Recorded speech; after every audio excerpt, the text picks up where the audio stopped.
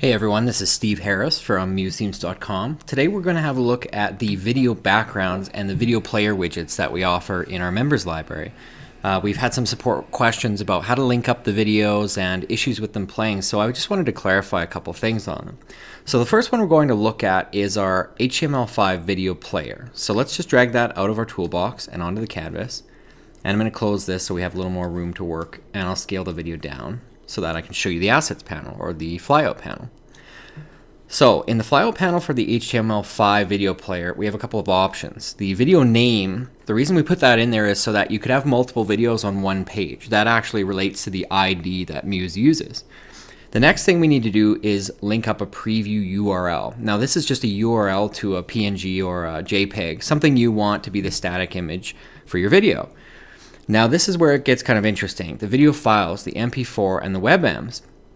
Right now I have full links to actual demo videos in there. And the reason we allowed you to put full links rather than locking you into the Muse assets folder is because with this widget, people are going to be including a lot of different types of videos on their site. And if you host all of those videos on your actual server, your bandwidth can get really heavy. So you might want to try hosting your videos off-site, maybe somewhere that has a little bit bigger bandwidth, and you might have better luck with your videos.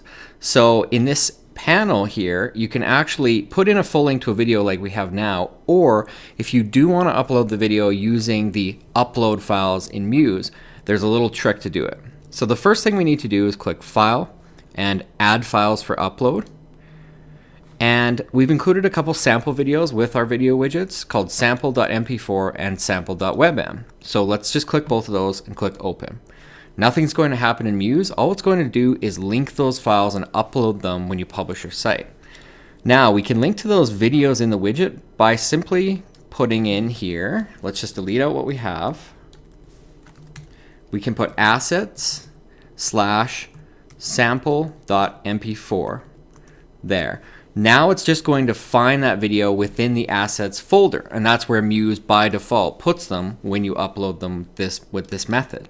So let's do the same in here. We'll go assets slash sample.webm, and that's it. You need to include both versions of the video if you want to maximize browser compatibility. MP4 works on some browsers, WebM works on the others. Include both if you want to make sure that everyone can see the video.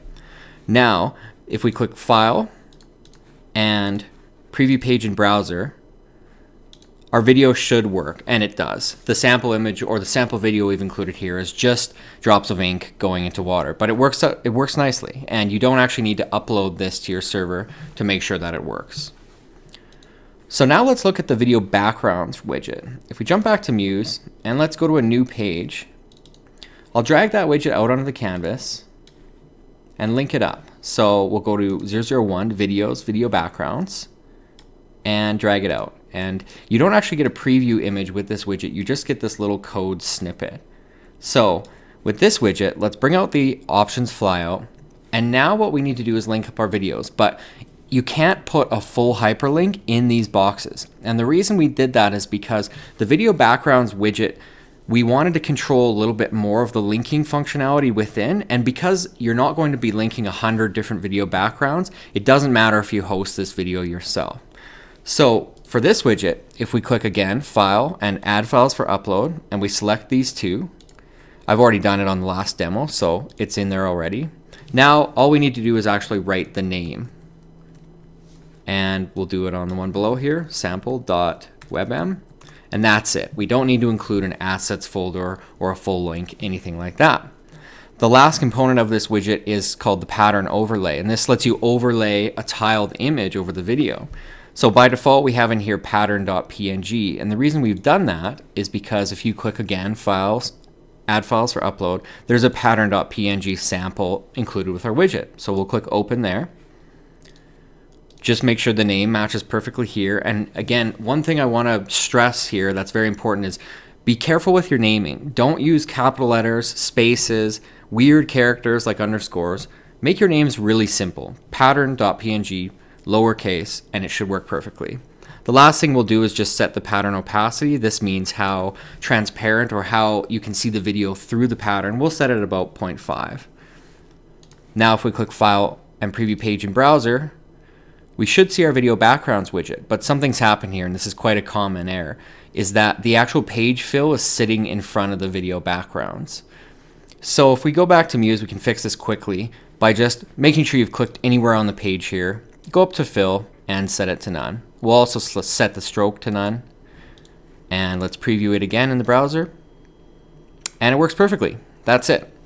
So the video backgrounds widget is really simple to link up, but you do need to make sure that you're naming your videos appropriately and you're linking the videos to the right places. If you have any trouble with this widget, feel free to send us a support request at support at musethemes.com. Thanks again.